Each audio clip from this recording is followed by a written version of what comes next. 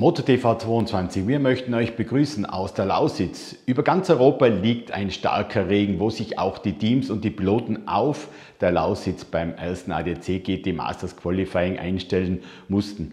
Bei nasser und rutschiger Fahrbahn gab es die schnellste Runde für Porsche vor Audi und Lamborghini.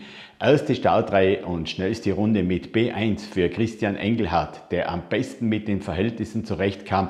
B2 Patrick Niederhauser, B3 Maximilian Bo sowie B4 Alberta Costa Balboa. Am Samstagnachmittag um 13 Uhr live das erste Rennen zur ADAC GT Masters aus der Lausitz auf Nitro TV.